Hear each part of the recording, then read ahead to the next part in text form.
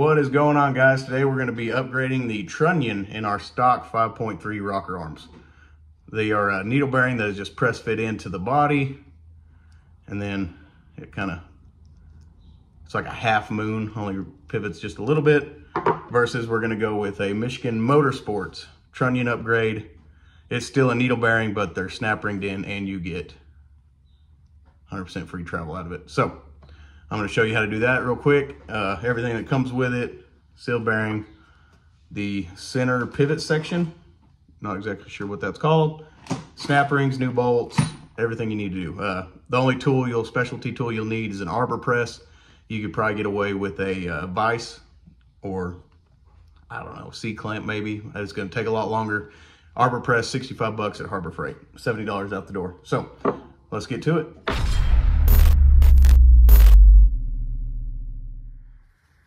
All right, guys, so uh, you got your arbor press set up. You're just gonna get your stock rocker arm set in there. Get you a socket. This is a 7 16 Then you will just ease it on down. It's a one ton press. Presses the bearing right out. Might have to fiddle with it, get it completely out. There's the old bearing. So then your rocker arm completely clean. Just go ahead and clean out any of the old oil from the surfaces. In a perfect world, these would already be clean. Grab your new Michigan Motorsports bearing. It has a plastic cap holding the bearings in. So you're just gonna turn your plate, set down your rocker arm, Make sure you kind of get the bearing pretty straight, get it started, and then you will just press it in until it bottoms out.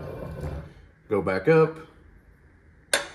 Then you will grab your like rocker arm pivot, just kind of feed it in. You see that plastic cap will end up pushing out. Then you will grab one of your spacer washers that come in your kit, set it over there. Grab your second bearing, slide it over, cap comes out, bearings are in. Grab your second spacer washer, center it over your bearings, body. Press till it bottoms out, spacer washer comes off. Grab you your snap ring pliers and a snap ring.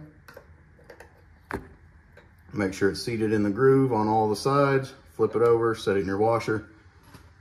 That's just so it don't go nowhere. Grab you a second snap ring. Make sure it's seated in the grooves and you're done. Super simple to install. Arbor press obviously helps. Uh, you want to make sure it's not like this one's bound up a little bit.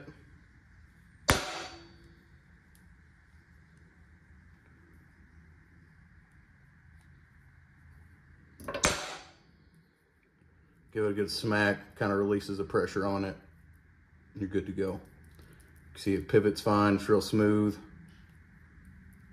So the half moons only kind of allow you to rock back and forth. This one will give you a full 360. Obviously you don't need a 360, but a lot more free travel. Super simple upgrade.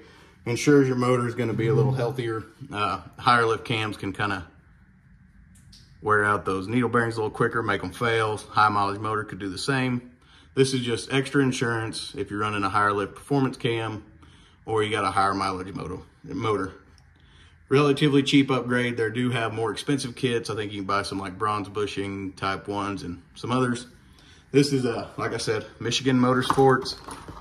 I'll put a link down in the description to the kit I used. Uh, I'll put a link down in the description for the arbor press. You'd probably get away with a vise. You'd probably get away with a C-clamp, just depending on how much time you want to take. This is like uh, I mean, it took me 30 seconds to do one rocker arm. So if you like the video, guys, like, comment, subscribe, share it. We'll catch you on the next one.